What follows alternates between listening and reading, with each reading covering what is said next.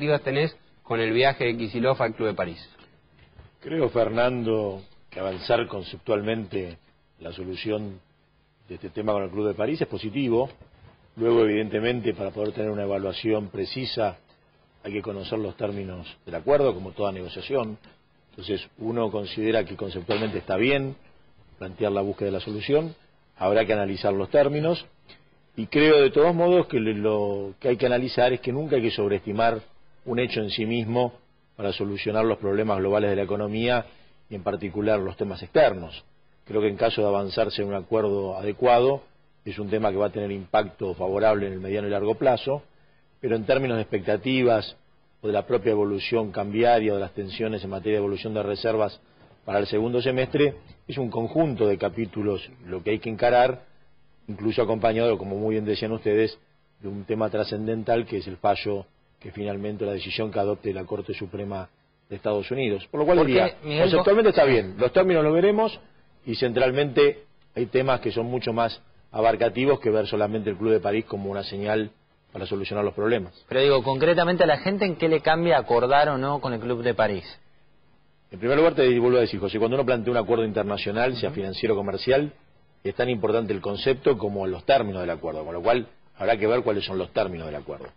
Presumiendo que fuera un acuerdo conveniente en términos de los plazos y de los pagos, en el mediano y largo plazo es un instrumento que favorece la llegada de inversiones a la Argentina y por supuesto son inversiones que favorecen creación de empleo y un escenario económico más favorable. Pero es un instrumento.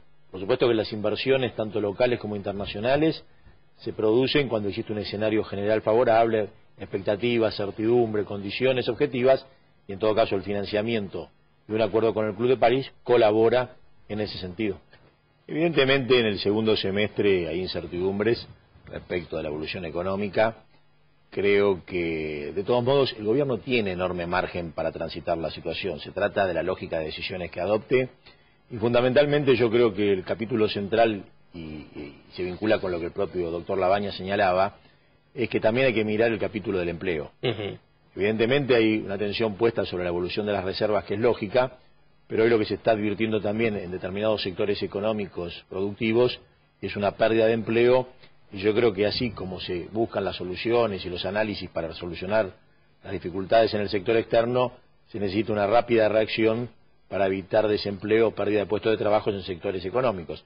Con lo cual creo que es un segundo semestre de, dificultades objetivas con posibilidades argentinas claras en el 2015 de empezar a revertir ese escenario y creo que la diferencia con otras etapas donde se han advertido dificultades significativas es que cuando uno mira el escenario futuro, un año o al mediano plazo, ya uno puede visualizar la posibilidad de salir de este escenario de crisis más rápido que los propios fundamentos reflejan.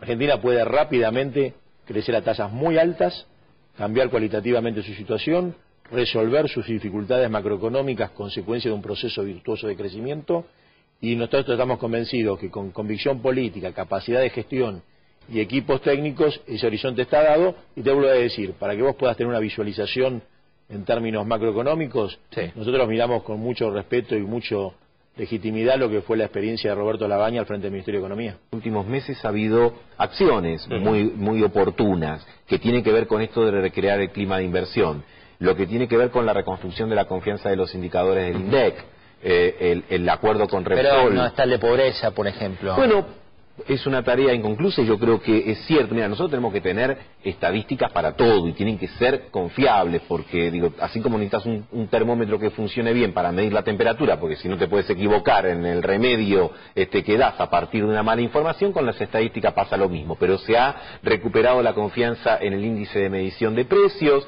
eh, eh, se ha firmado el acuerdo con Repsol, está el acuerdo con Chevron, se está negociando con el Club de París, está la voluntad de parte de la Argentina de llegar a un acuerdo con los holdouts. Entonces me parece que, mira, eh, cada época eh, de alguna manera te va preanunciando la que viene. Y yo creo que lo que viene en la Argentina es un enorme eh, imán de, inversiones, porque tenemos todo, y esto también es muy dicho, pero con el complejo agroalimentario, con los minerales y con la energía, sobre todo con las extraordinarias reservas de shale que tenemos, A ver, el problema de la Argentina de los próximos años va a ser, eh, eh, digamos, los dólares que entran, no los dólares que se van. Y va a ser un problema. ¿Entendés? Porque vas a tener que... Ojalá venga rápido. Ojalá venga rápido ese problema.